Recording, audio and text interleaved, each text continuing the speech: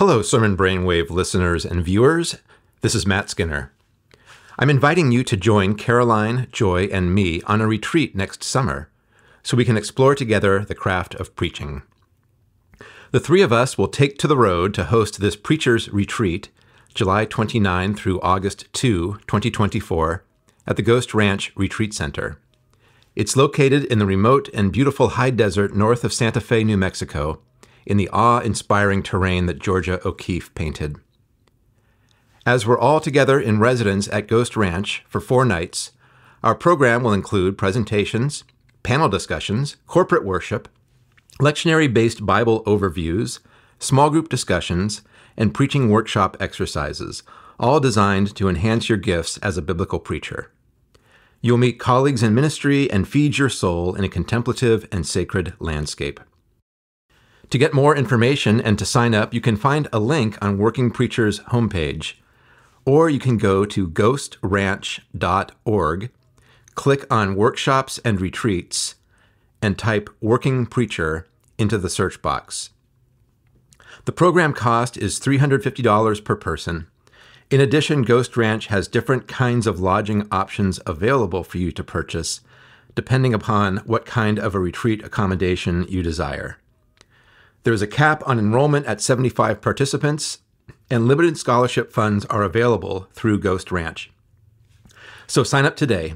I hope you will join us there for this unique opportunity. Welcome to Sermon Brainwave with me, Matt Skinner. And me, Joy J. Moore. And me, Karoline Lewis. The texts for the 17th Sunday after Pentecost on September 24th, 2023 are these Jonah 3:10 through 4:11, or if you're following the semi-continuous first reading, Exodus 16 verses 2 through 15. The psalm is number 145 verses 1 through 8. The second reading, we're beginning a series in Philippians, chapter 1 verses 21 through 30. And the gospel reading is Matthew 20, 1 through 16.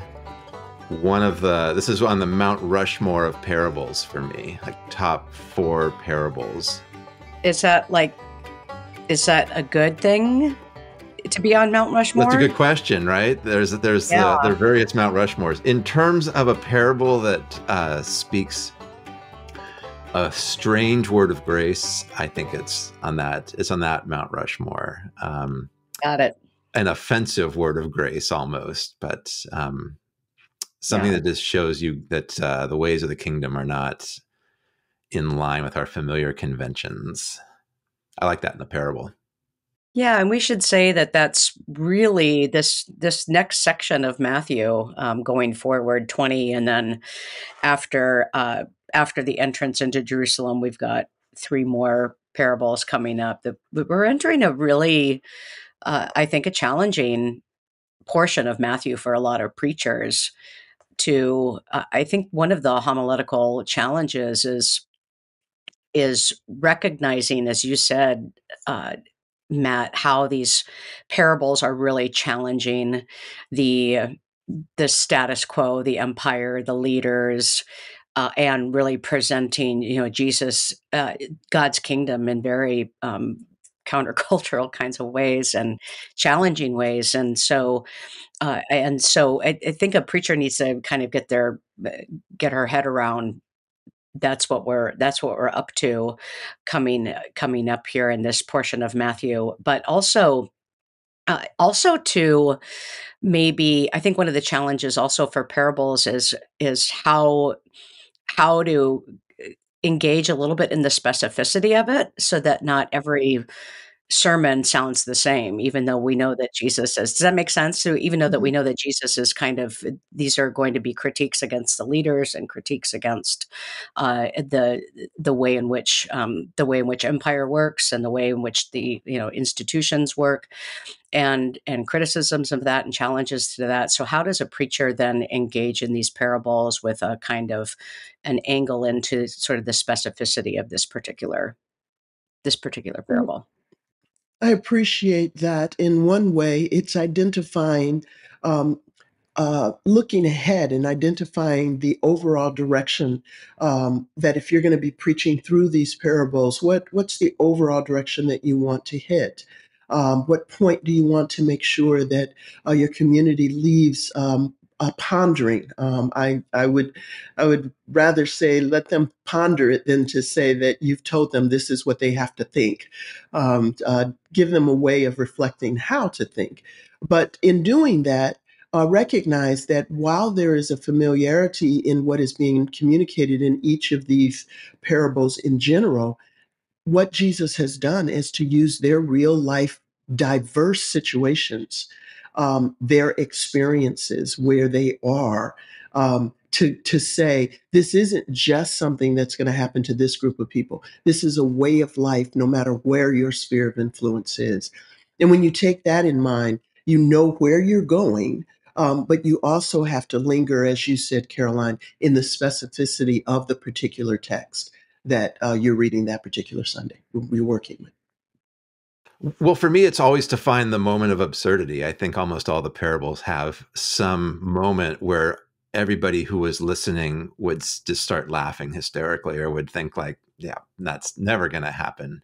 Yeah. Uh, Jesus, nobody loans their enslaved person 10,000 talents, you know. And in this case, it's obviously the the the payment where the guy starts off by paying the, the, people who worked for an hour the full wage, which is kind of like we don't know landowners who who do that, right?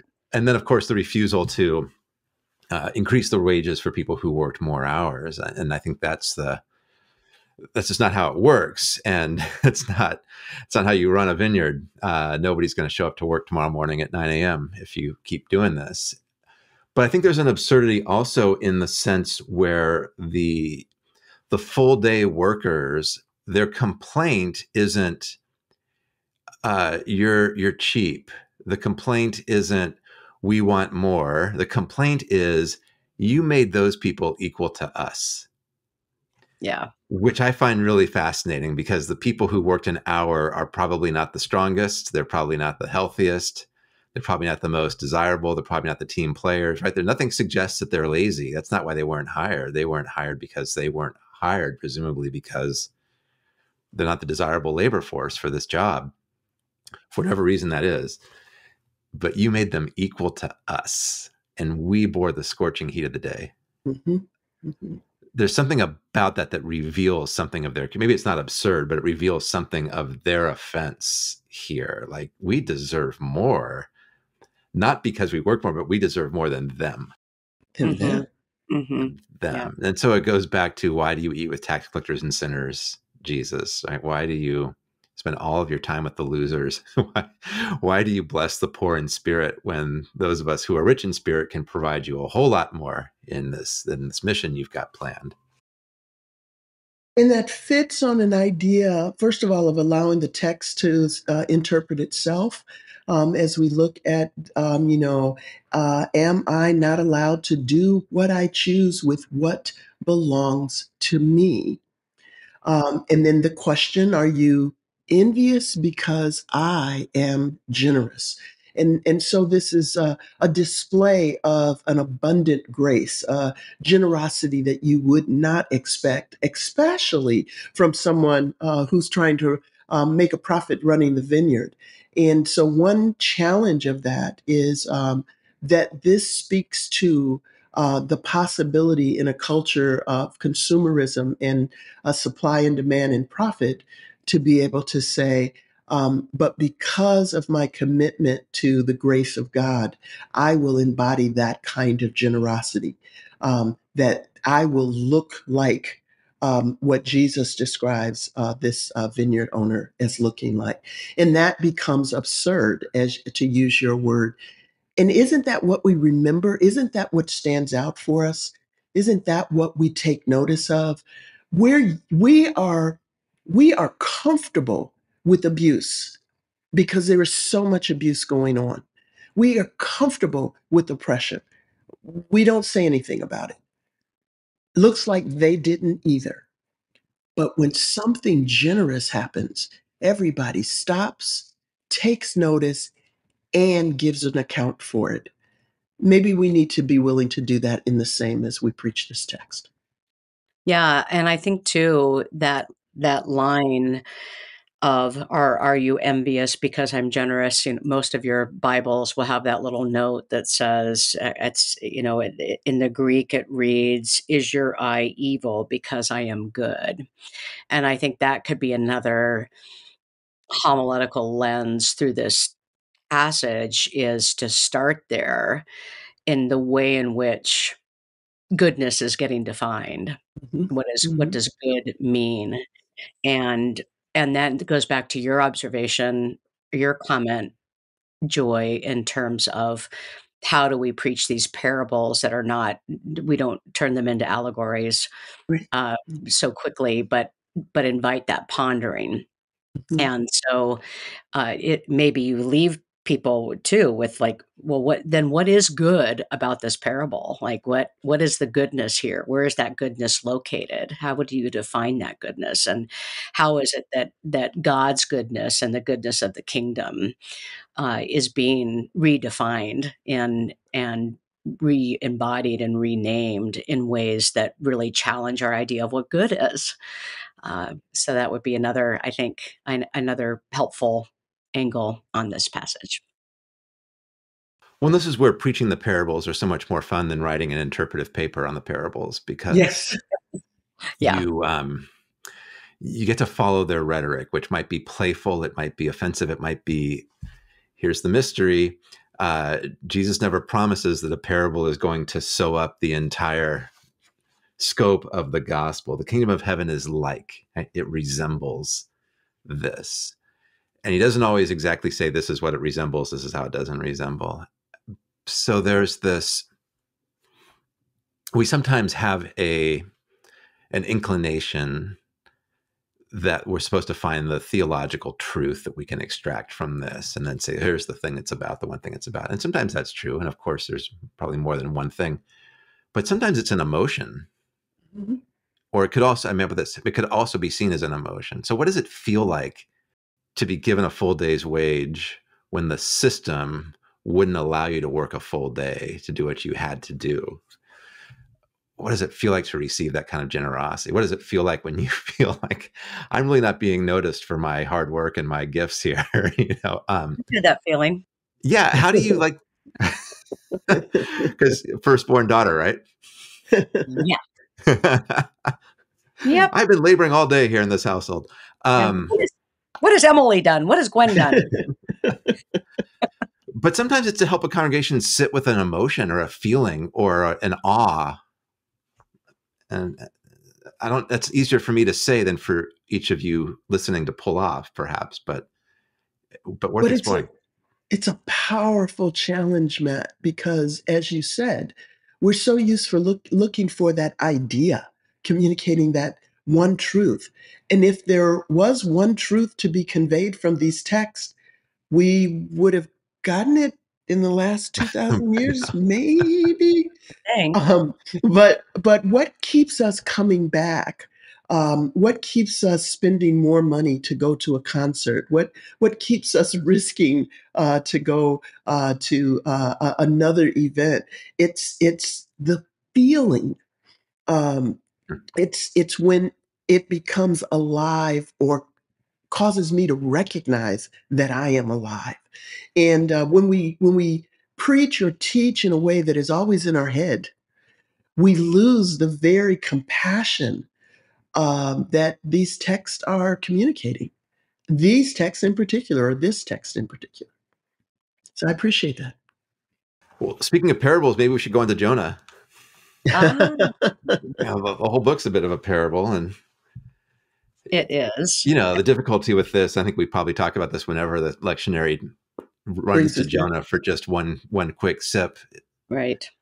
But this is, you know, the the focus here on mercy and the focus on how God's mercy towards some might make you disappointed uh, or mm. resentful. And so Jonah is this great example of that. But what I, what I really appreciate about this pairing is that it uh, it illustrates what I think is at the heart of Matthew's gospel about mercy. Mm. I think that's the maybe the yeah. prime personality trait of Jesus in Matthew and of his message is really this abundance of mercy, which is odd for a gospel that wants to talk about judgment so much, I realize, but we'll save that for a future week. But it's the mercy of God is a well, it's a strange thing, according to Graham Greene, I believe is the, the quote from a novel of his, but it's also really offensive sometimes.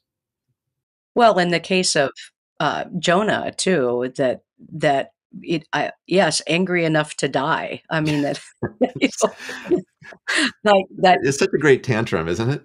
It is. it is, and you know, and and the whole thing about the bush is kind of hilarious. You know, he likes the bush, and then and the bush turns on him, and right. Um, God's like, you're concerned about this bush, aren't you? Mm, yeah, you're really concerned about the bush, and and yet look over here this is you know this is what i've done over here which in and of itself is like a little mini parable right? Mm-hmm. that, that where is it that we locate our gaze in terms of god's goodness the goodness of the kingdom uh, the provision of god and and yet and and the expectations of that provision or the expectations of that mercy? I think that's kind of what is happening here with jonah. And and then that mercy gets put in in in a in a way that just is almost incomprehensible or is so challenging to the ways in which we have um, anticipated or understood what God's mercy is like. And so that's you know that's also that that connection with the parable so somehow if a sermon can also maybe name some of those expectations for people or how how how might they how might they name their own expectations of how God is merciful. Um, where where do, where where does God's grace? Where should it show up? Where do we expect it to show up? And then what do we do when it's you know when it's given to others or to a situation that that really challenges that expectation? And how does it show mm-hmm. up? What is it supposed to look like? Um, mm-hmm. Um, if if you if you will, I'd like to offer a different uh, uh, take on this, um, and uh, it's um, it's looking at uh, this reality of um, well, first of all, the parallel that that Jonah's reaction is um, parallel to the actions in in Jesus' parallel parable, um, anger at God's grace. Um, but something else that stood out to me is um, in both of these, and we'll see it again as we continue to read, um, God seems to be okay with this kind of honesty. That these, these, this, the the Matthew parable um, has this engagement where the workers are speaking with the owner, and the owner is engaging back. And here we have God who is extending this grace, having told Jonah, I want you to be the embodiment of my grace right now. And Jonah's like, I'm having nothing to do with it. And God entertains that attitude. God sits with Jonah in some ways. Um, some of your community might be going through a point of frustration. Uh, we laughed a moment ago and said, angry enough to die, but that might be exactly where some people are. They're just at the end of their emotional rope, their mental capacity, their personal willingness to think they can go on. And it might be worth knowing that God will sit with them even there and extend the grace to them that God is expecting us to, in a godlike fashion, extend to others. And that might be just enough to get you up one more day. and then don't try to figure out what you're going to do for the rest of the week. Just take that one day. There you yeah. go. Yeah. Yeah. Yeah. Well, speaking of complaining, yes. Oh, Exodus 16. I love that Anna Marsh's commentary reminded me that this is called a part of the book called the murmuring tradition, which I just love. mm, hmm I've had seasons of my life that are like the murmuring era the whining the, the whining decade the whining yeah the, the whining decade oh my the grumbling years there right. it is. Mm-hmm.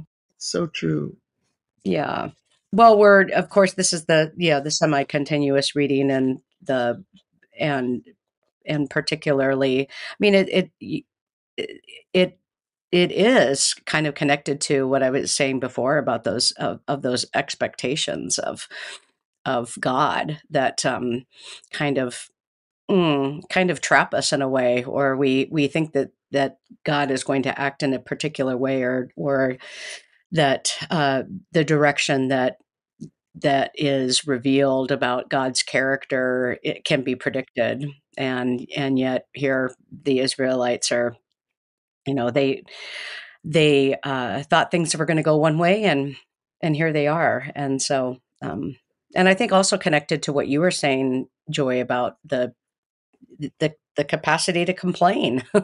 Yes. they get to they get to complain, you they know. Um, complain. Um, yeah. And, and Moses, uh, you know, as leader is probably, you know, that would be a whole different direction to consider what, you know, how leaders deal with complaint. Um, Moses does go go to God on this one, but um, just just that putting this in its context, Israel has been enslaved under ruthless leaders, oppressed. Um, it took you know, literally the moving of heaven and hell to release them from slavery. And, you know, what was their imagination that this was going to, to look like? That they were going to become the oppressors of someone else?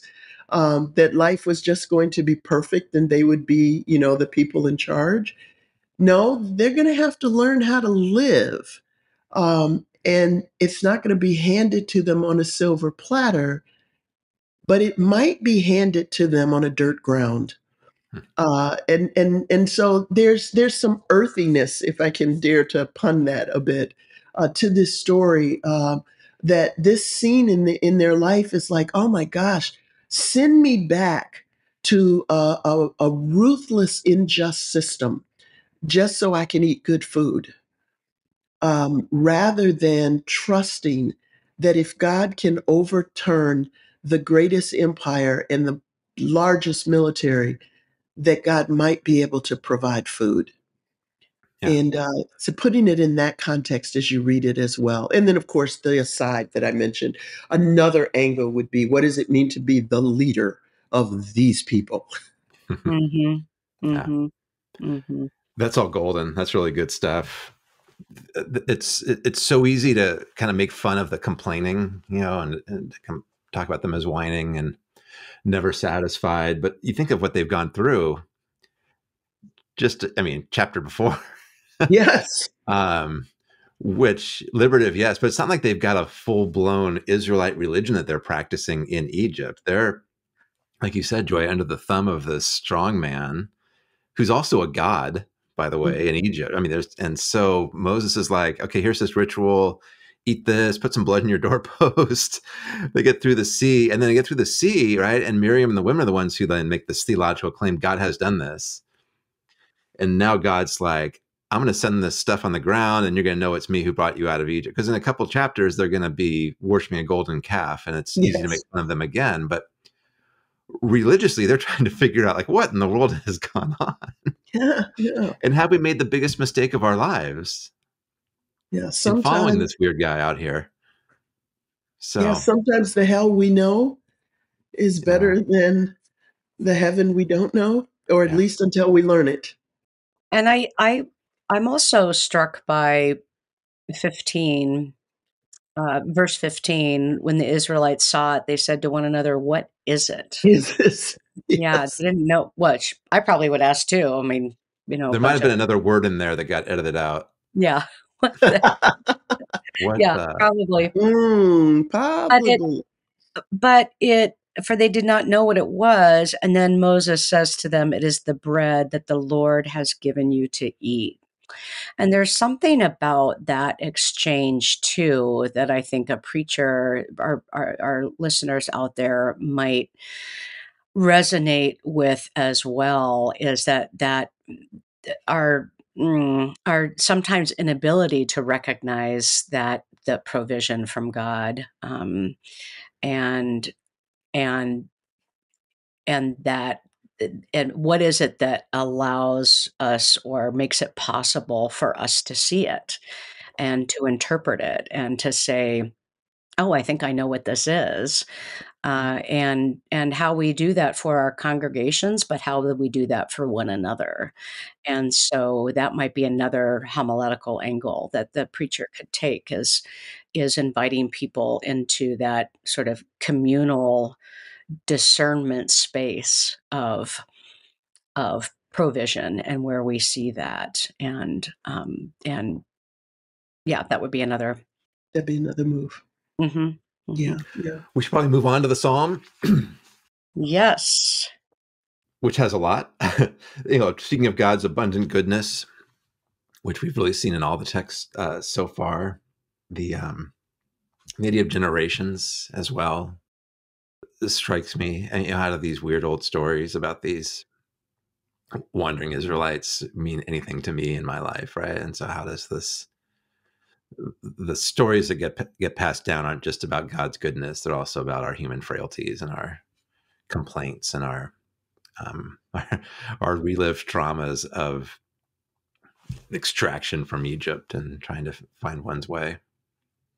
well and n- nobody's neither one of you and uh and our listeners are not going to be surprised that i would somehow use this liturgically uh, because you just have these great eh, you know as as the commentary says it's a, a doxological psalm of of giving uh, uh, of of recognizing the blessings from God and that this is this is the this is the nature of God's character is graciousness and mercy and so, whether you bring this language into your sermon in talking about the parable in, of the workers in the vineyard, and or or about Jonah, or or the Exodus text, uh, that this is you know our God is gracious and merciful, slow to anger, and abounding in steadfast love. That that's that in all of these stories, that characteristic of God is being is being manifested and or to use it as a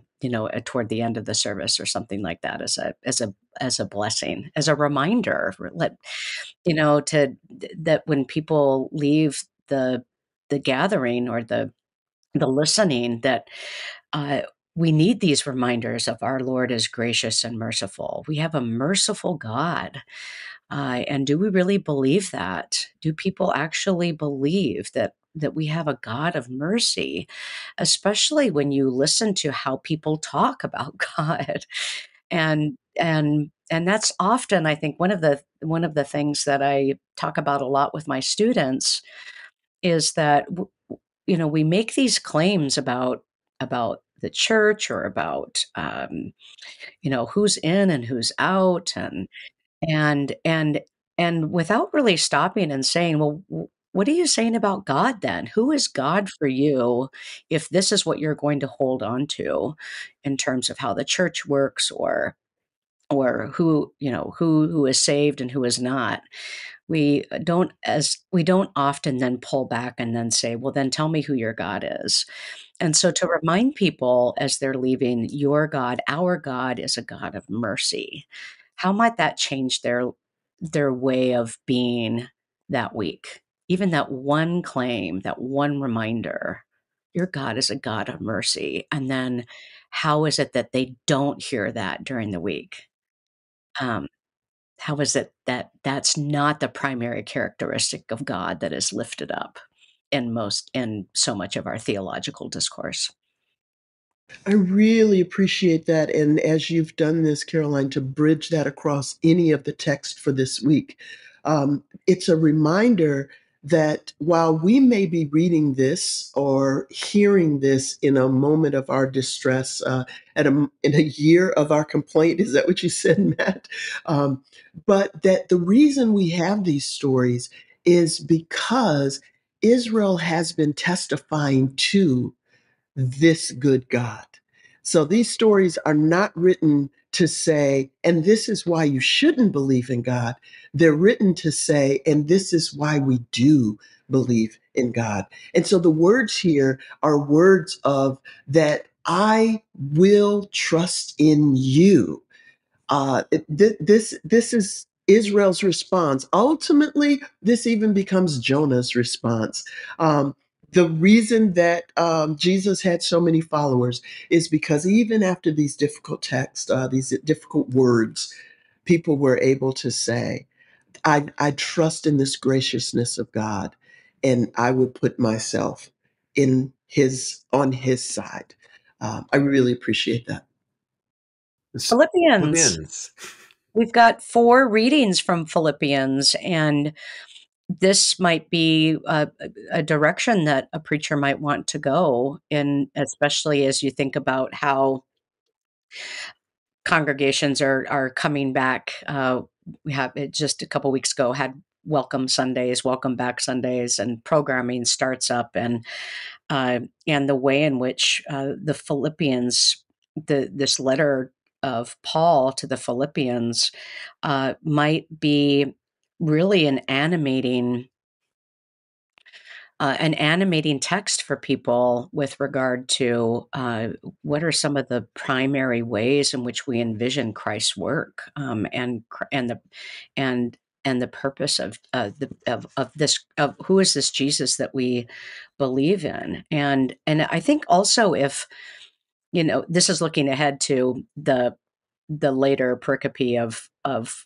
you get Paul's direct words to the leaders, right, in Philippi. But I, I, I would also um, encourage preachers just to hear Paul's words for themselves, mm-hmm. uh, just to hear these words as, I mean, yes, to your congregation, but, uh, but also just to hear. Um, to hear these claims about Jesus that are just so central to who we are and what we believe. I just let the words kind of wash over you before you like figure out what they mean. right, right, right, right. The um the letter. It's interesting the the passages that were chosen to to summarize Philippians. We're going to get language like living your life in a manner worthy of the gospel of Christ. We're going to talk about imitating Christ and his refusal to exploit his power we're going to talk about working out salvation and fear and trembling. We're going to talk about, I believe, pressing on. You know, that's it's it's a very it's a deeply pastoral letter to a community that Paul really really loves and really cares for, and really he wants to be their pastor from afar, not in a power hungry sense, you know, but he he wants to imbue them with the best of what he has to offer, and he's happy to take joy from them as well in return. But it's but it's a it's a letter that is uh, sometimes a nice kind of nice kick in the pants in our Protestant behinds, right? That uh, yes, God is gracious, God is merciful, um, but there's a trajectory this gospel puts you on, mm-hmm. and God will empower you. God will be the force behind all of this, but uh, he thinks the Philippians haven't experienced the the best of times yet and is trying to help them figure that out. So it's a it's it's a it's a tender letter it's a beautiful letter. It's also a really challenging letter for me in that regard. There's a tying together again of each of the texts that would be uh, a, a thought-provoking way of looking at philippians um, and, and just this week alone in this particular text what would make paul communicate these words to these people in this time? Well, as you've said, Matt, um, Paul believes they haven't seen their best moment yet. Jesus is saying to first century Israel, You haven't seen your best moment yet. Jonah is being told by God, This, you haven't seen the best moment yet. Moses is saying to the Israelites, You haven't seen the best moment yet. And so, in some ways, what Paul is doing here is exactly what each of the other texts this week are doing and you could use lines from Paul's letter back into the other scenes, uh, or you could uh, buoy up your presentation of Paul's letter by reminding your listeners that Paul has in his imagination these Hebrew scriptures, these scenes, and he's bringing them alive for his context of people he loves that want he wants to trust in a gracious God.